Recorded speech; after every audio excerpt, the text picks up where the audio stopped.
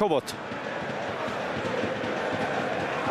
Rossz továbbítás Jakobitól, de Csobot megszerzi a labdát.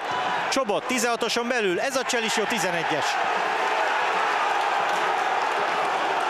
A semmiből most az Újpest, mert már az Újpest jobban játszott a második félidőben, ez egy elveszett labda volt. Csobot Kevin azonban megszerezte, betört, és megcsinálta azt a cselt, amely után csak át kellett esnie egy lábon. Csirkovics, aki a szabálytalanságot elköveti. Kilépés találkozik Csobot lábával, a labdával meg nem. Antonov lövi a büntetőt.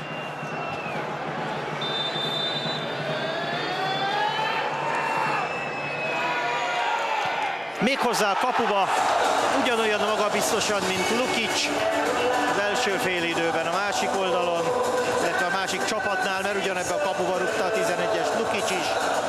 2-1 az Újpest javára, és a Honvéd már kész a középkezdésre,